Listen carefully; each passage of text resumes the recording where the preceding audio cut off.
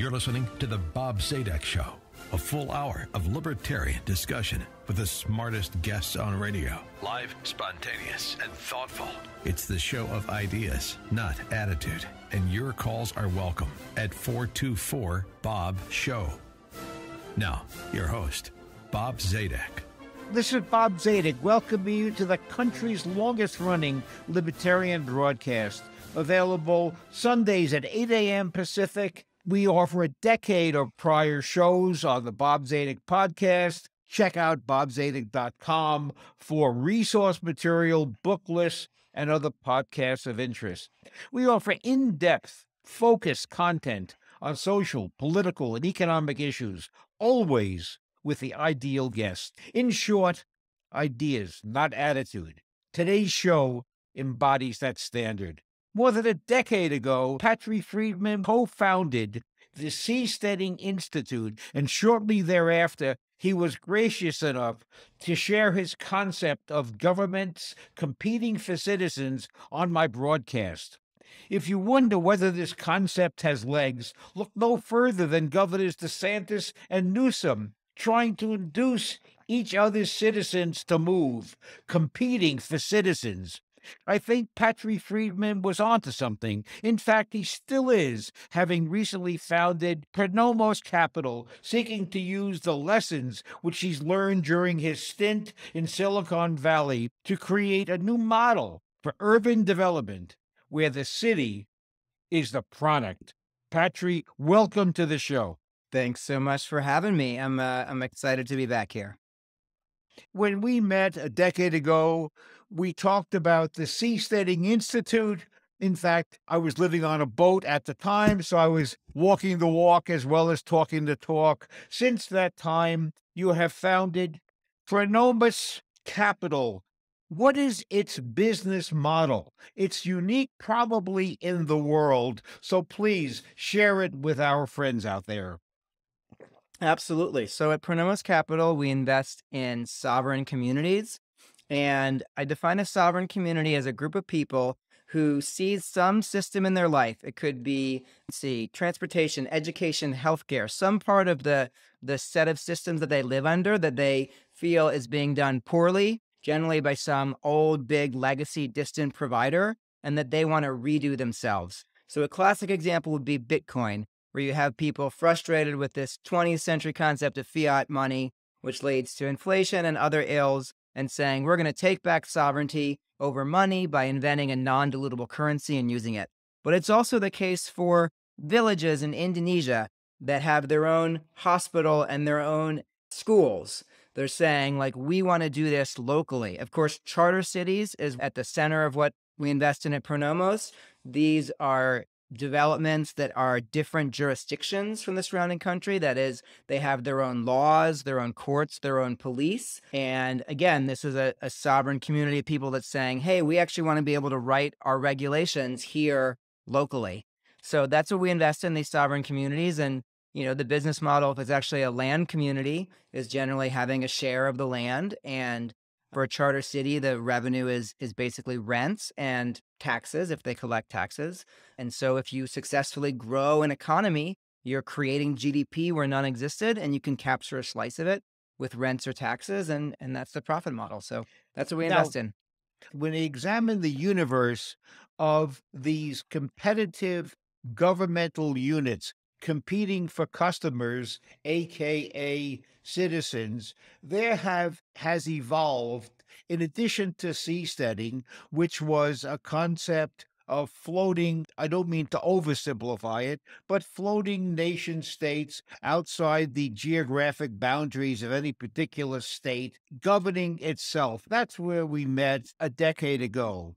The concept of independent nation states, nation maybe too grand, but independent governmental units has now become, in the last decade, quite a bit more sophisticated with ZEDEs, you will explain to our friends out there, with nation states such as Singapore, Dubai, Hong Kong, but Hong Kong maybe hmm. is slipping off the list. Yeah. We may get into that a bit. And then there are the the free cities lumped together under something called the Free City Movement, which has had some success and some experimentation, a lot in Central America, Honduras specifically. So give us just the ballpark, the overview of these various concepts. And when you do, Patri, please give us the goal and mechanically how you you don't just declare there to oh, be Oh no. a, a, a unit. public-private partnership with the host country. So just to explain briefly, so our audience who may not be at all familiar with these concepts understands how you and I are going to spend this hour together. Yeah, absolutely. And so Honduras is the one program that's out there fully operating, although the, they've actually changed their mind and and uh, shut down the program. And it's kind of uh, we're going to see like what happens with it going forward, but we will still use it as an example. So in 2010, 2011, and 12, Honduras changed their constitution to create a program called the REDA or ZEDE program. These are zones of economic development. And this is the first, what I would call a modern version of a special economic zone, where traditional special economic zones, it's just like there's some tax breaks or some tariff breaks, or you're allowed to have foreign workers or something, but it's very, very shallow. The jurisdiction is not very different. And what the ZEDEs did was they looked to Dubai International Financial Center, where Dubai viewed their laws and institutions as as like a, a startup would view the tech stack like this is what we're offering and we want to be a financial center for the middle east. We don't have good regulations. We don't have good laws for that. So they said uh, let's be deliberate about creating a jurisdiction for our purpose. They looked around the world. They said london. We think they have the best financial regulations. So they copied british regulations in english and applied them to this zone Dubai International Financial Center, but not just applying to the zone, but any corporation that incorporates there is under this law anywhere in the United Arab Emirates.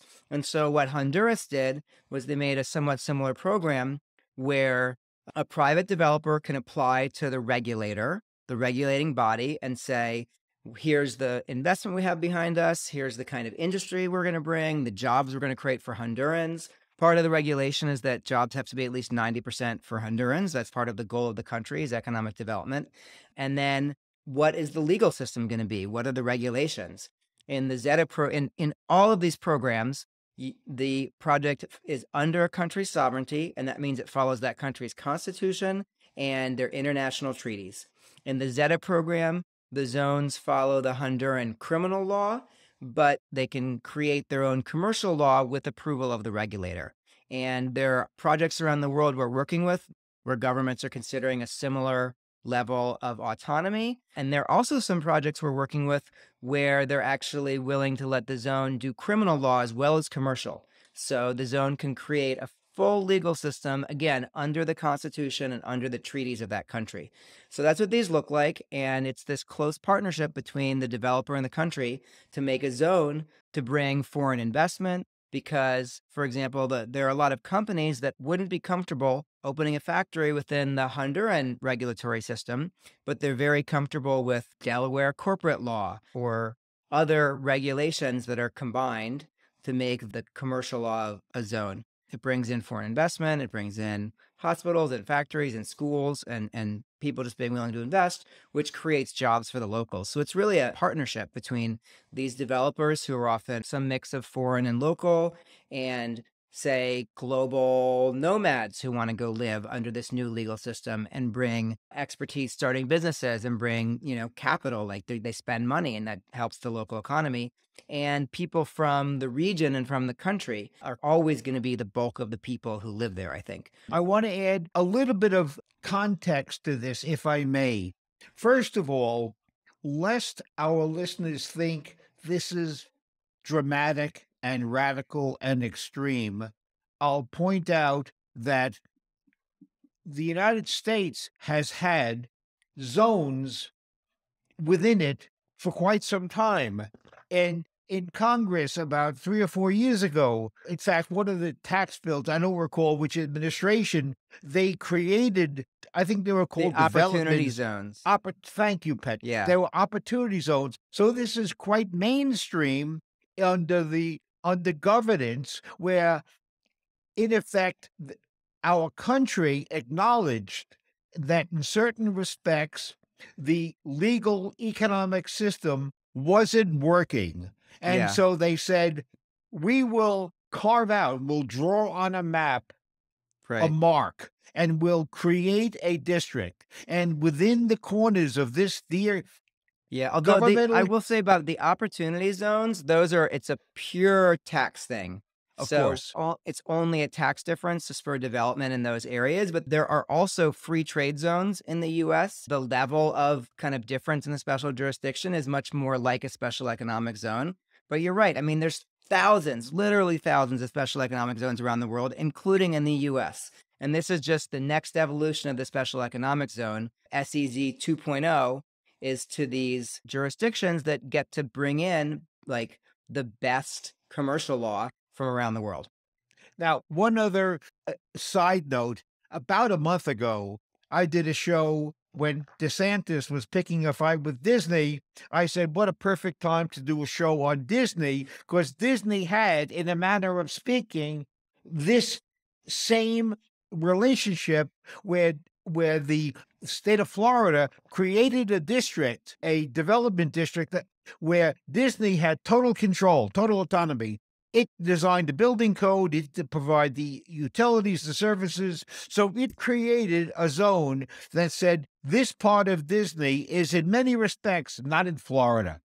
They just ruled it. It's not in Florida. It's floating out there in the ether. So the concept Yeah. of a functioning district within a dysfunctional greater geographic area is Yeah. not new. So, Patri, if you thought and if you presented yourself as a radical mm-hmm. revolutionary, the concept is quite mainstream, I did although in the although- old days, 15 years old- ago, right? Exactly but but right. I, I've grown up and the movement has grown up. And it, and it used to be that it, the movement was kind of in opposition to states. But the stage they're at right now, it's all about working with friendly states and having a partnership where essentially they bring their sovereignty and then we bring the ability to create economic growth, to create jobs, and, and we work together. And the, now, the long term goal, as you alluded to earlier, I want to make venture backed, for profit startup city states. That is my long term mission. I want to start fully sovereign private city states. That's what we're on the road to. But even that's going to be done, I'm sure, in partnership with with countries, with small countries. Again, kind of sharing their sharing their sovereignty. You know, there's a there's kind of a, a progression of the special jurisdiction and how many of the laws are its versus how many of the laws are from the container, what the relationship is. But I've been working on this for over 20 years now. And I think that we're less than 10 years away from having an effectively sovereign startup city state and maybe from having an actually recognized one. Let's say less than 15. And in what is in the business model of Pronomos, do you provide a kit Hmm. if somebody has enough money and enough drive to carry through on the project and they love the concept, but it's one thing to love the concept as I do. It's another thing to get it done mm-hmm. do you provide like a starter kit and then the platinum package and mm-hmm. then what exactly yeah. tell us the business model and in case there are a lot of people out there who are sitting around impatient to form their own cities but they don't quite know how to do it who will end up sort of posting all. Come your my way. info Come my way. so tell us who are you when you are promoting your concept? Who is your target? And who do you have to make the sale to first? And what happens after somebody says, okay, Patri, I'm, I'm in. What do I do next? Tell us how this all works. Yeah, great, great set of questions. So, so I'll talk about the yeah the kit, how we work with founders, and and who we have to make the sale to. So, in terms of the kit, there isn't one. There, there probably should be. So, like a lot of people, my partners and I had a, a very difficult pandemic, uh, like very, very tough time personally. I mean, there was there was health issues and divorces and all kinds of stuff, and so we weren't able to do the extra work to kind of like put that kit together. We worked with our companies, we found companies, but now that it's kind of post pandemic and we're we're growing our funds and we're we're hiring more staff, we're going to be much more hands-on. And so it really depends on the founders and how much help they need. There are people that we work with and invest in where we don't have to do very much besides writing that check, maybe introducing them to investors for for their future like larger rounds. But we we also know that like we have more experience in this space than anyone. We're the only ones who are working really across um, all the different companies. And so we're going to be much more hands on in the future. In fact, we have a couple projects right now, one in Asia, one in Africa, that we're looking to really dig into ourselves as a fund and put together the founding team and mentor and work closely with the people. But it's really arranged depending on what people need. And, and while we don't have the kit, we do have the experience. And I think once we've done this three or four or five more times, we we kind of will have the kit. In terms of who our audience is when we're talking about this stuff, uh, some of the major stakeholders are governments, founders, and investors. Those are the big ones that that we need to make a project happen. So, government, these projects are done in a close partnership with a government. It's a public-private partnership for mutual benefit, and so that's a very important audience. And we look for those few kind of innovative governments that view themselves as startups. Generally, they're small countries and, you know, just kind of want to take advantage of the fact that sometimes smaller is better because you can do bold things uh, like creating charter cities. And that on the founder side, that's actually one of our, our biggest shortages is like proven entrepreneurs who know how to start companies and are ready to just roll up their sleeves and dig in and and start a city. We're very much looking for those people and we need to make the sale for them. I think a message that I, I, haven't really done well at getting out is that there's a lot of people who are excited about the space. They think it's sovereign communities and charter cities are amazing, but they think of it as this thing in the future that's going to happen soon. And it's actually not. Like you can roll up your sleeves and start a company right now. We have opportunities that are, you know, kind of like ready, ready for founders. And then the third group was investors. Like it, it doesn't take a lot of money at the beginning. We write checks right now ranging from a hundred thousand to a million at the early stage before you're buying land and doing construction. But as these projects materialize, they need tens of millions of dollars to do the, those initial build outs. You might be able to get away with millions in a, a developing country, but you're going to need tens of millions pretty soon. So that governments, founders, and investors, I would say, are our main audiences. A couple of questions regarding the countries, because you have to start with obviously a willing country. You can't just go into a country and plant the flag. So you have to have a willing country. Uh, is the country asked to cede land? What is the country's relationship, first of all, to the land in which the city mm-hmm. is? Because I presume it sounds like it is to some degree, when you talk about investors, the core asset the investors are investing in is they're buying land. It's a big part of it. And, and infrastructure and buildings. Yeah. And then also kind of like the operating company and the fact that this company has made a uh, relationship, an agreement with this government and gotten permission. But the land is a big part of it. So it really depends on the country. So there, there are some countries that that don't sell land where the land is owned by the government and and you and it can be leased. So that's one thing. So sometimes it's owned, sometimes it's going to be leased. And then the other thing is in some projects, like in Honduras, the land is being bought on the on the public markets, just bought privately, like a normal land transaction. But there are other places where the government actually, because the government owns so much land in the country and wants to promote the project, where the government contributes the land as part of like their side of the contribution. So it can work any of those different ways. Now, our show is a libertarian or libertarian ish show.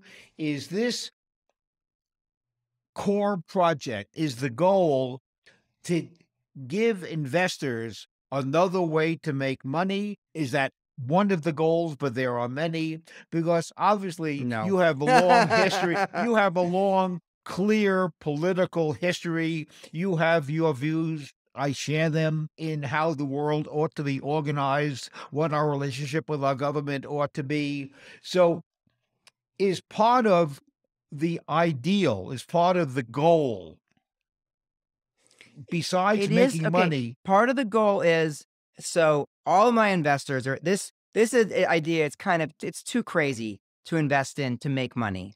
All right. All of my investors are in it because they want the world to change in this direction. They think that if people can start new jurisdictions with different laws, that will just be better for humanity. We'll be able to like re architect our legal systems and spread best practices and create zones of prosperity, and that that'll be a good thing. They all want to see that impact on the world, that mission to rezone land with better laws and institutions to serve humanity. That said, like the amount it, to build a city, right? To build Singapore, you're talking at least tens of billions, maybe hundreds of billions of dollars to build Singapore. And so, if these projects are going to succeed, they're going to need a lot of capital. And the only way to get that capital is if they're profitable. And so, all of our investors are in it for the mission. But in order for the mission to succeed, we have to make money and the projects have to make money so that we can go from this. Our first fund is 13 million. You know, our second fund, which is also anchored by Peter Thiel and Balaji Srinivasan, is is going to be 100 million. And so we're kind of growing bigger and bigger funds as these projects need more and more capital. But the only way to keep growing that is for the project for them to make money. But that's nobody's primary motive. Nobody, I, nobody would invest in us just for that purpose. It's too crazy. Now, I, that was a lead up to what I felt to be the more important, perhaps interesting question, at least to me. Who determines the political system? And to what extent? Because you're going to need citizens. It's not going to be just things, they're going to be people, Yep. obviously. And we have the owners of the project, the investors, whatever you want to call them. Is it a company town where the investors get to rule the roost? Is it, are you offering democracy, small d, like New Right. England town halls? And what, it, how does the system change? Tell me about the government versus the citizens. Who gets to make the rules and how does that all work? Or is Yeah. there more than one model?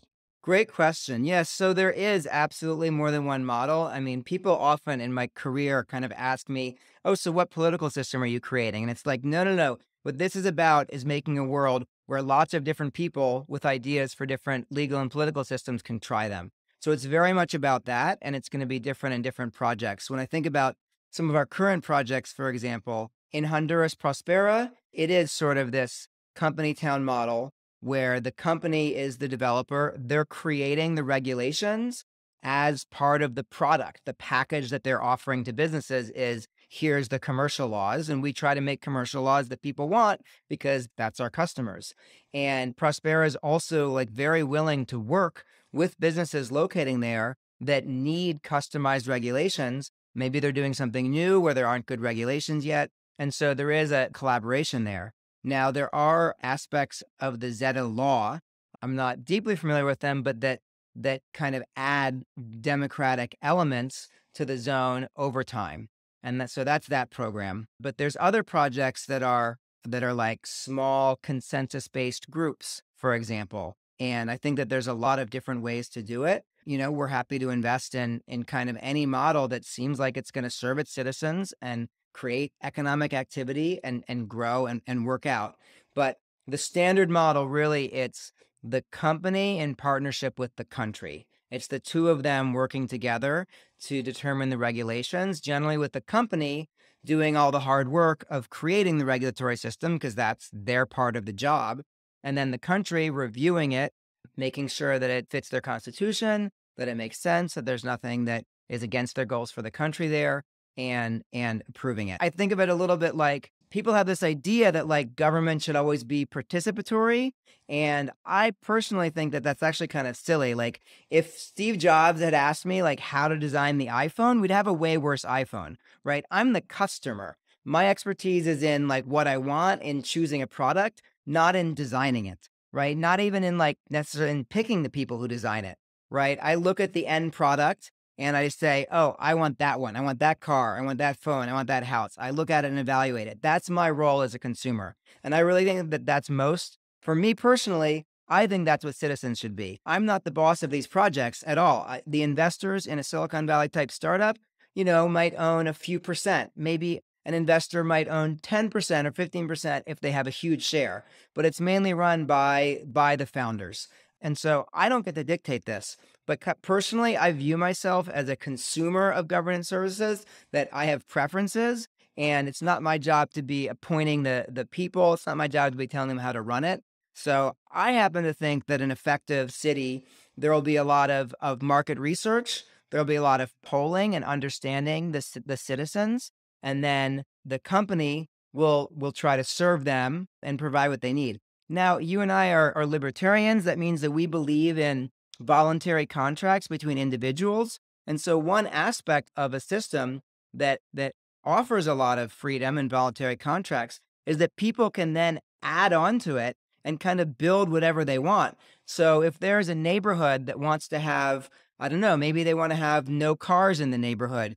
Maybe they want to have like no plastic used in relation to food because they think that's unhealthy or no high fructose corn syrup and they have a set of things that they want for the neighborhood, they can then just create that as a contract that people sign. If you come into this neighborhood, you sign it like you like an HOA. And if you sell, you have to like make the next person sign it. And people can create and layer on whatever laws they want in the type of society that that you and I would like to live in. So there is absolutely that flexibility.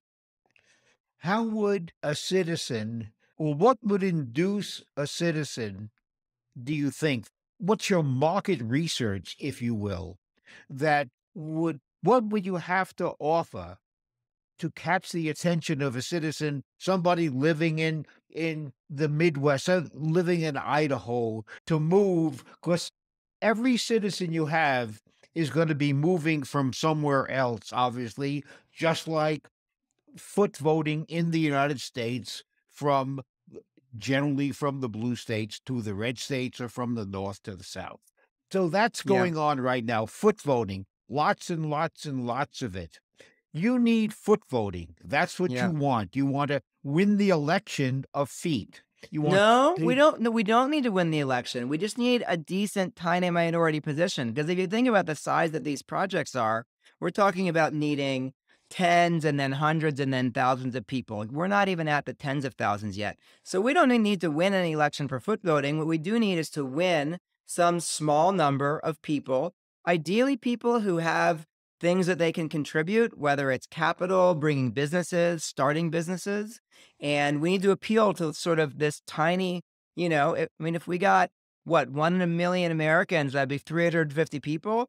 Like that's plenty for where the movement is at right now. And then you need to appeal to those one in a million. And then as you scale up, you need to appeal to, to one in a hundred thousand.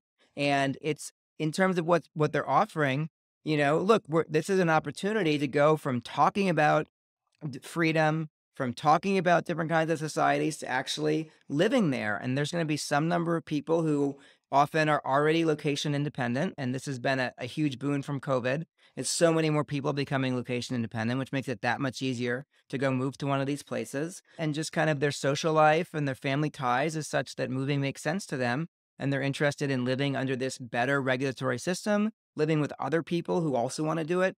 One of our companies, Praxis, they've uh, formed a society of ambitious and optimistic young people. So, entrepreneurs, people who have a positive vision of the world, a positive vision of how technology can help humanity. Um, people who are very much not in the kind of doom and gloom and environmental pessimism and anti capitalism and all that crap. And they've got thousands and thousands of these young people who are all in a society where the goal is to move to and create a city together. And so that's an example of, of just how much interest there is. And, and that's plenty. A thousand ambitious young entrepreneurs, like that, that's going to have an incredible positive effect on the economy of a city. So we only need to to kind of appeal to that minority of people who are like really well suited to this right now. And then just I think a lot of the population is going to be local and should be local because that's the, the contribution of the city It's going to be making jobs and increasing prosperity, increasing standard of living for the locals. That's what you're giving. Not always, there's other things a country can want, but by default, that's what you're giving kind of in return for getting to create this. And so uh, most of the citizens, I think, should always be locals. In the history of our country, which I'll use as a, for the moment, frame of reference, we've had experimentation with utopian societies. I think Utica, New York was an early, uh, somewhere up in New York State was an early uh, attempt at utopian cities. We've had communes in the more recent past. Those are, in a manner of speaking, in a very rough sense, but more than zero, experiments of people who wanted to check out of more conventional political system or society and have more control. Yes. It, are there lessons to be learned from that? Is that a horrible example of what you're trying to do? What are the similarities, if any, and what are the differences? And I'm sure they're profound. Oh, absolutely. I mean, it's it's very relevant. You know, those are experiments where people are saying we want to live in a different way. The vast majority of them failed, the vast, vast majority. But there are today successful communities that have been around for 50 years, 100 years, not very many of them.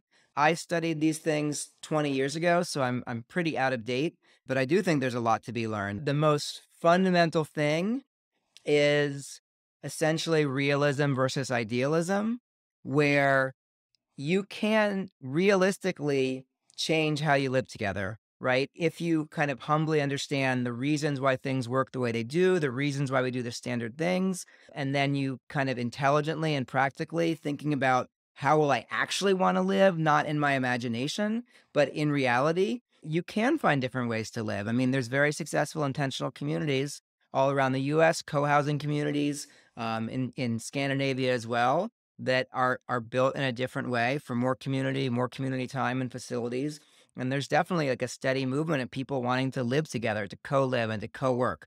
There is something real there, and you can do it. At the same time, the the vast majority of the time, if you look at the goals of these societies, it's it's something very like kind of radical that they're trying to do, where they're not really thinking about the practicalities. They're not thinking about on the ground. You know, there's a great saying from one of the 60s communes after it fell apart. It was, We were together on the level of peace and love, and we weren't together on who was going to do the dishes. And I think that kind of shows it. Like you have to design communities where you're together on the question of who's going to do the dishes. But there, there's also huge differences. Like you said, they, these these communities are not getting to change the laws and regulation. They're at a much smaller scale. The, there's really important differences. But I absolutely think it's one of the things that we draw on and and learn from. The, the Amish community, uh, it occurred to me not before, not, not as I prepared for the show, but as you were speaking. And I said to myself, wow, that seems to check a lot of the boxes. They prosper, they yeah. they su- survive, they live without outside control. They get to organize their educational system. And to some degree, I don't know that much about it, the political system. Maybe the same yeah. could be said with these growing uh, Orthodox Jewish communities, yeah, uh, the Hasidim and others in both Brooklyn and Monsey, New York, and upstate New York. So I think we have are they examples, and maybe very positive examples of communities that can live. Yes, they have a connection to the world around them, but they also the Amish live with total control. Yeah. It seems to me of their political life, their Yeah. social life, uh, th- their probably, even though they are part of Pennsylvania or Ohio, my suspicion is that the criminal law administration within the community is very much as the as their society dictates, Yeah. not so much what the what the Pennsylvania Probably. Criminal Code says. So are they ideals to look towards to learn from, or is there not much relevant?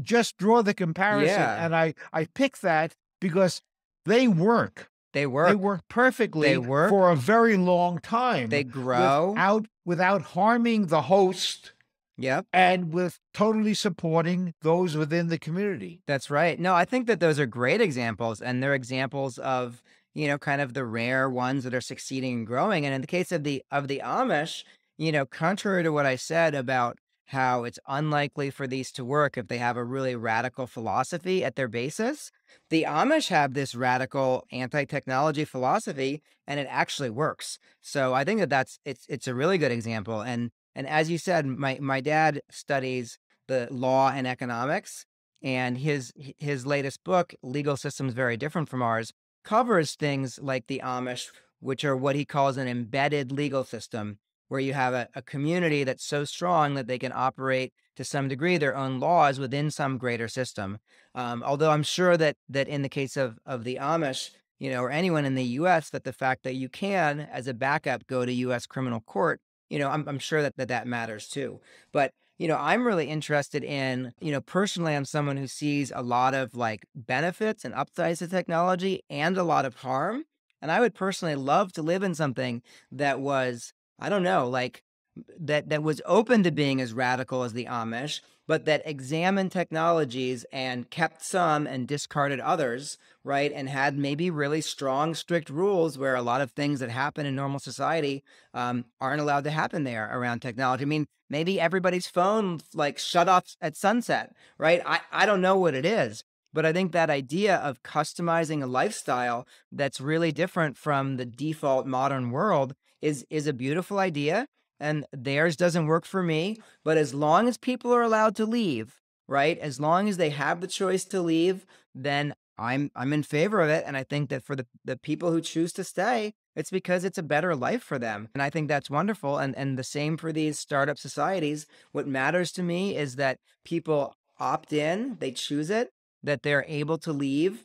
Uh, and then you kind of know that whatever the society, whether it seems like something that makes sense to you or works for you, uh, that they that they're kind of in free association with it, and you can just let people do different things and have diversity. So yeah, I think it's a great example. One of your let's imagine you one of your investment is up and running. It's a city, it's somewhere. It might be in the US, not so likely, probably a lot more resistance.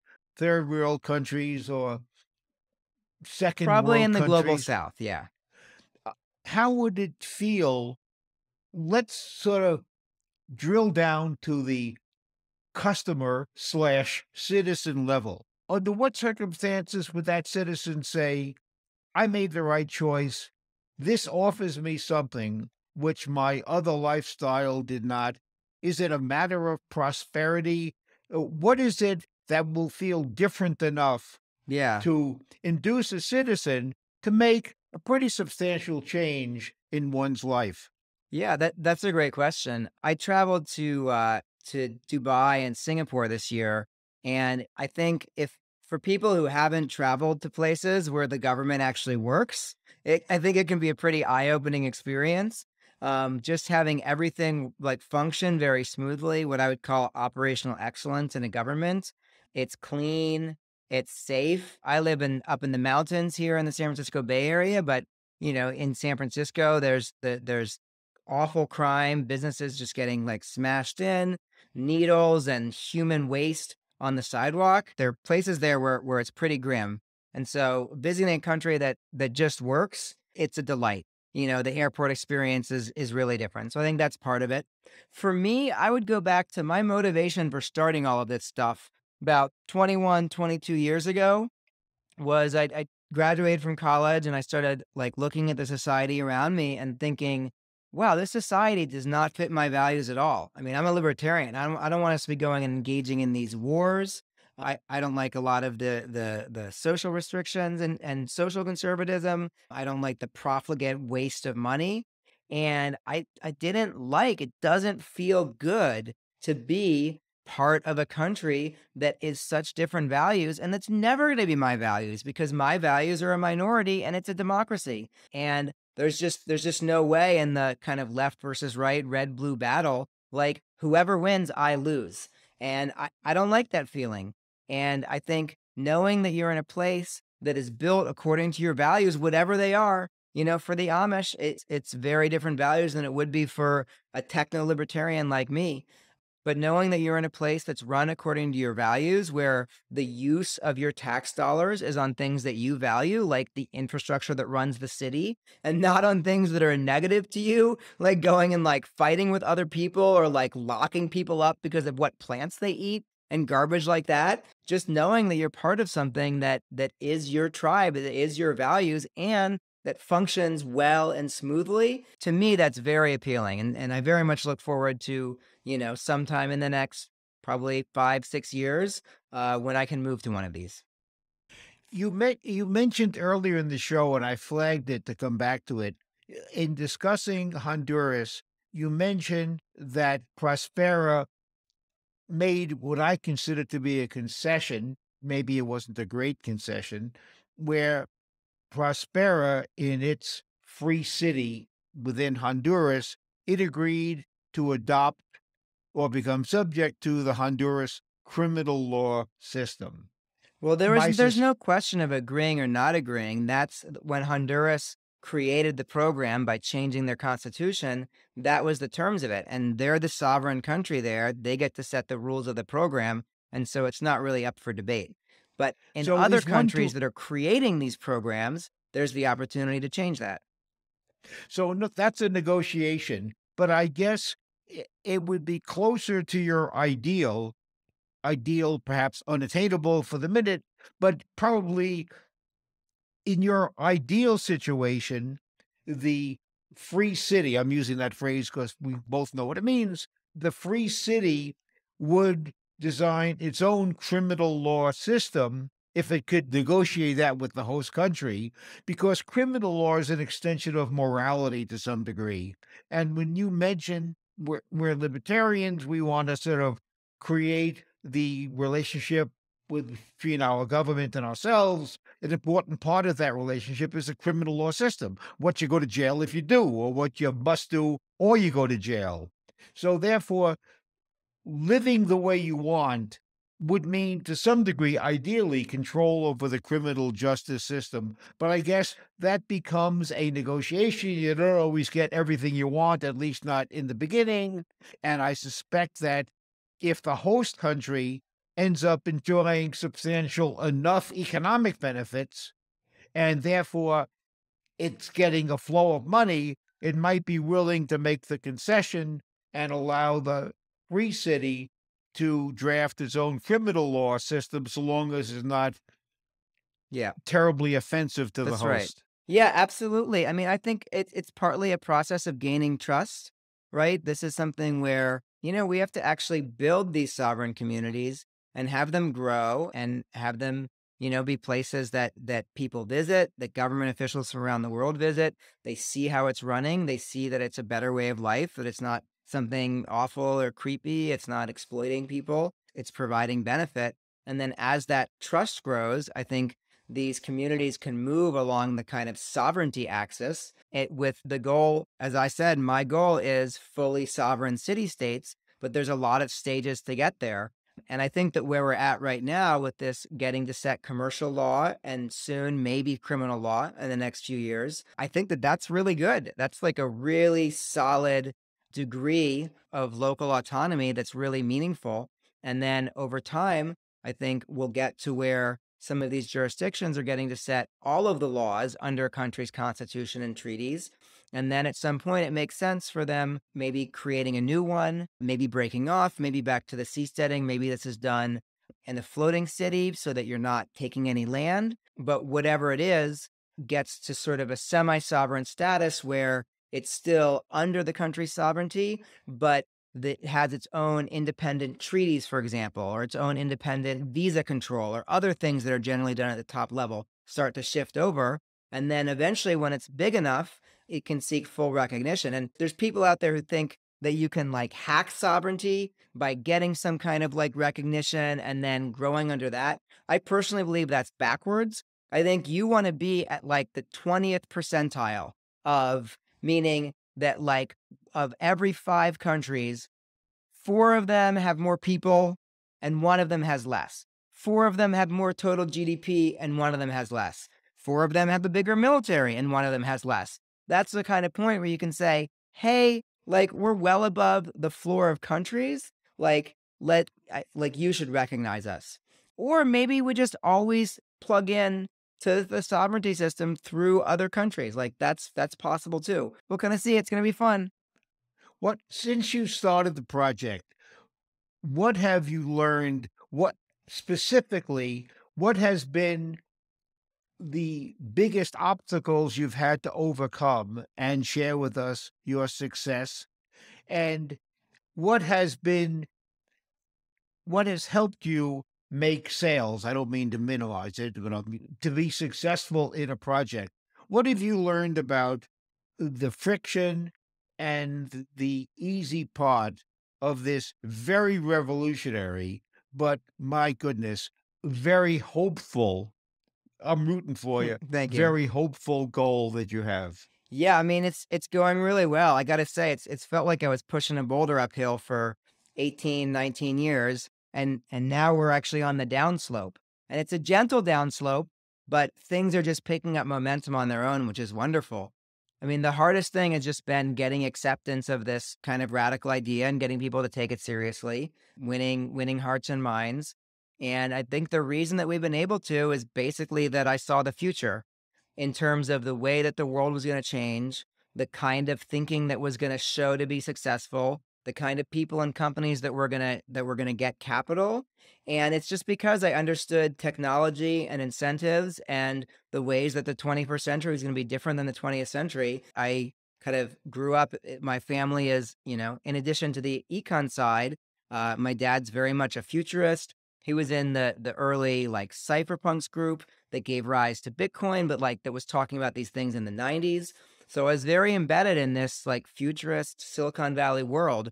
And I kind of saw the way that things were going to go. And it's it's not, I think it's not it, like it is because of my work and going out and convincing more and more people and people who had more and more resources, more and more ability to do things over the course of this 20 years you know, just me kind of just diligently putting in the time, talking to whoever will listen, like addressing their concerns, coming up with good metaphors to spread the ideas, just getting the word out there. Uh, but it's not something I I did along the way that made it succeed. It's that I happened to be right about the direction of the world. And now in, in 2022, in this post-COVID world, there's all these like small states that are thinking about like innovative ways to win investment. And it's just the way that people are thinking. And so it's no longer like, oh my gosh, how am I ever going to convince any country to do it? It's more like, oh, which of these, you know, 10 countries should I focus on right now? Another comment you made that I flagged that I was waiting for the opportune moment, and that is now. You talked about persuading a country to give up land. To me, I wondered about that because a country is not giving up land it's finding the best use for the land. That's right. Owning land per se is just an expense. You got to take care of it. You got to protect right. it, but it's unproductive. So you're not asking for them to give you land any more than you're saying to somebody, you have this abandoned factory. That's How about selling it to me? I'll pay you rent or I'll pay you a fee to use it, and I'm going to make money on it in which you will share. So Absolutely. you're not really asking for land. You're asking to allow, in a way, to use their land for a better purpose. Uh, just a comment. Well that wasn't really well that wasn't really a, a question. But my last question is, if I were talking to, let's say, a fund manager, I I might be curious. What do you have more of? Money to invest, and you can't find a home, or tons of investments and not enough money. So, my question, my last question to you is right now, at this point in your development, do you have projects that you need to get the money for and you have plenty of demand for the projects but not enough money? Or do you have sufficient money and now you're just looking for the best place to employ it? Just get us a sense yeah. of where you are in your development and then when we close at the same time, tell our friends out there how they can keep an eye on you as you grow the project. Absolutely. Yeah, we so we're we're fine on money for this kind of early stage investment and getting projects started. We do need partnerships with capital partners who can provide investments in the, you know, 5 to 100 million dollar size. The projects are going to need that in the in the near future. But and we have plenty of countries that are interested in working with us and and potential sites. The biggest shortage really is the founders is, you know, A plus quality kind of entrepreneurs, the kind of people who would, you know, get into Y Combinator or get funded by Andreessen Horowitz, who have some experience under their belt and starting a new city is is what they want to do. That's really the big shortage. Beyond that, like investors are always welcome, but that's not the shortage at all. So you need rich out of work mayors who are looking who are looking who are looking Out- for something to yeah. be a mayor over. That's, That's what right. you need. Tell us how a mayor friends- who's like, I want to be a mayor slash CEO. I want like a lot more control over it. That that sounds amazing. And yeah, you can you can follow us. Uh, go to our website pronomos.vc. That's p r o n o m o s dot vc. That's got our social channels. Um, Twitter is the main one we use. It's at Pronomos VC. and we're just spinning up our Instagram. There's going to be a, a, a podcast soon. We'll be doing a lot more videos and a lot more content, but it's Twitter for now. Thank you so much. We were speaking with Patri Friedman. Patri is the founder of Pronomos Capital, which is the investment vehicle to grow a thousand new cities, state, nation, zones, call them what you will, but you have control over your economic and political life, and you don't have to be subjected to the old, somewhat out of date legacy model of governance. And the beauty of it is, you don't like it, you try another one till you find the one you like. Patri, in other words, you're selling freedom and freedom of choice, especially in who governs you. Thank you so much, Patri, for giving us an hour of your very valuable time. We will follow your work as I have all along from seasteading on and and keep it up. And I'll keep my bags packed, Patri. Thank you All right. so much. Thank you so much, Bob. It's a delight to be on your show again, as always.